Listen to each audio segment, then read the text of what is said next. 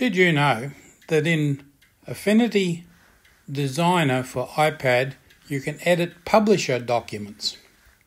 That's right, on your iPad you can open an Affinity Publisher document and page by page you can edit almost every part of that document.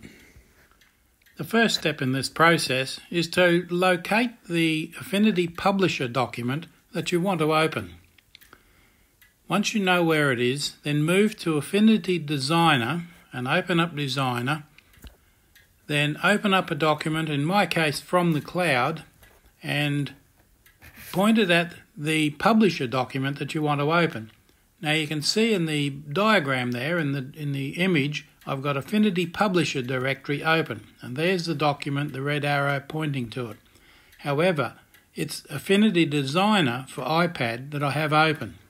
So you open the document in Designer, and the very first thing you do is save a working copy.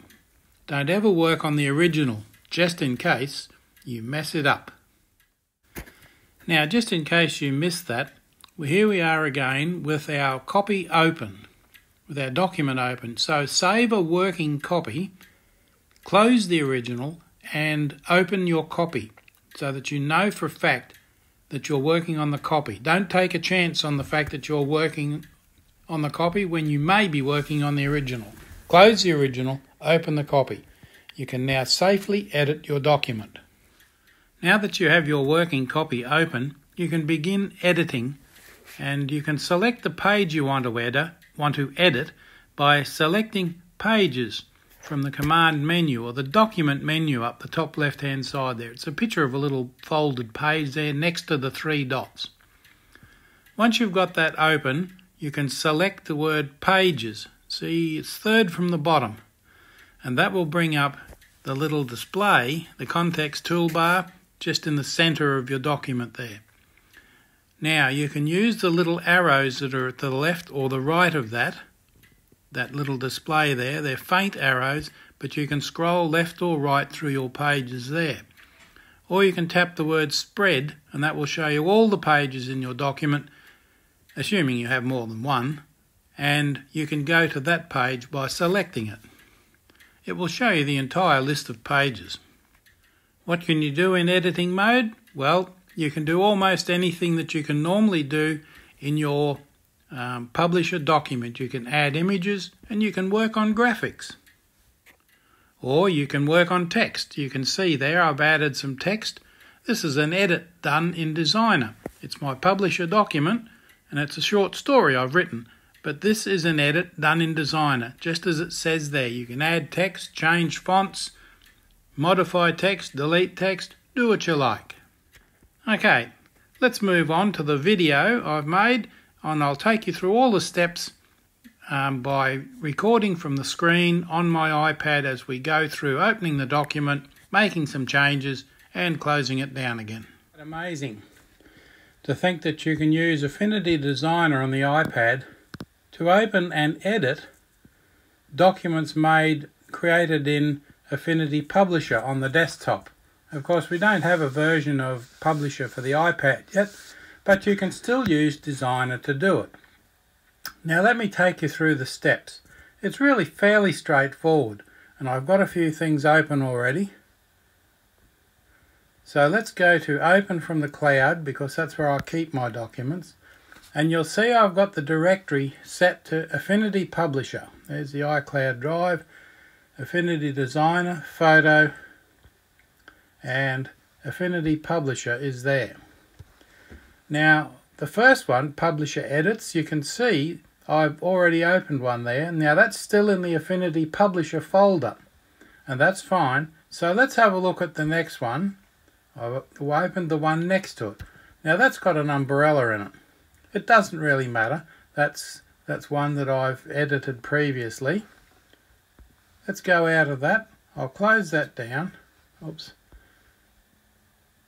Close that down. Yes. Let's see if we can find an unedited publisher document.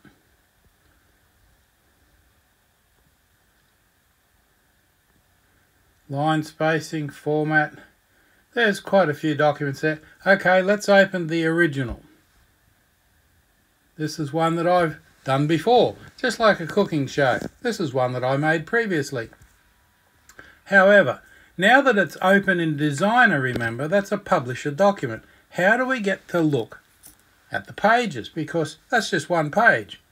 Go to the menu at the top there, and you'll see that's the document menu, that one there.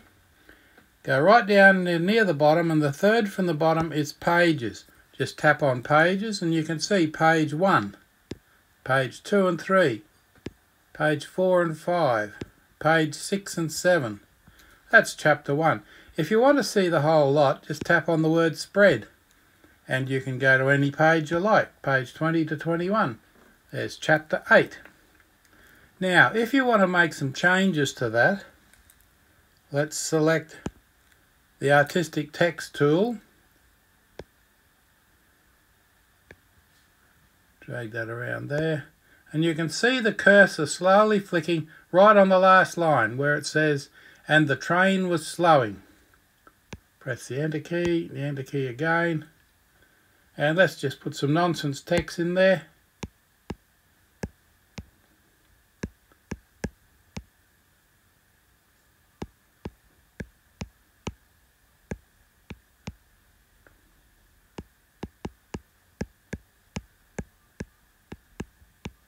Maybe you've forgotten a sentence or you want to tidy up a sentence or you want to change a sentence.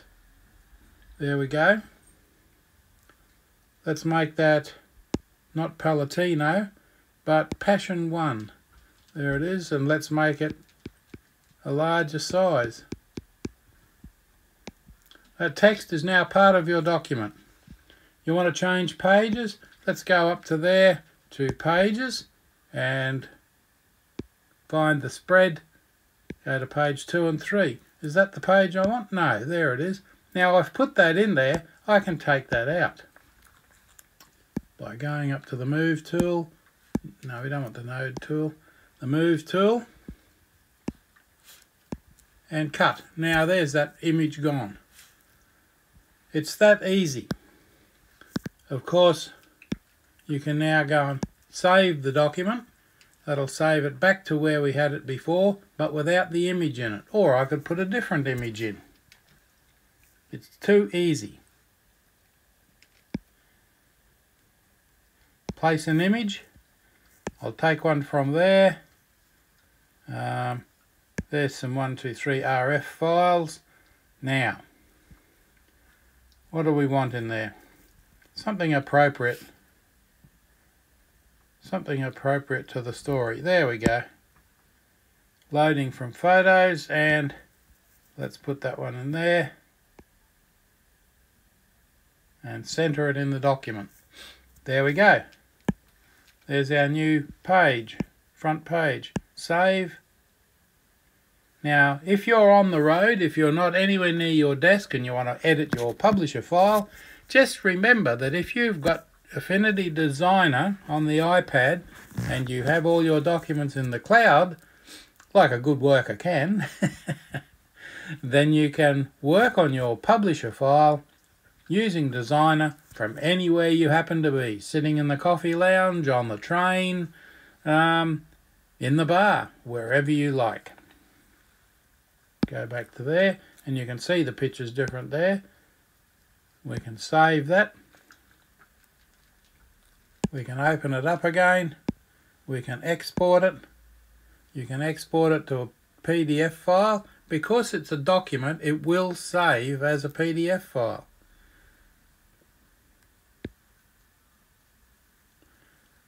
Publisher edits in Designer for iPad.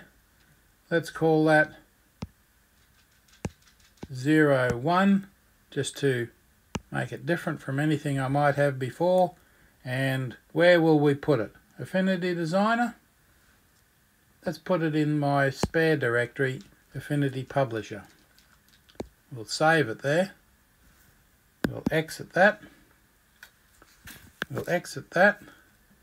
We'll go to Files. And iCloud Drive. Let's find AF Publisher, AF Designer, AF Assets. I could probably do this better, couldn't I? Date, name. There's AF Publisher. And there's the document. And it should be in PDF format. And there it is.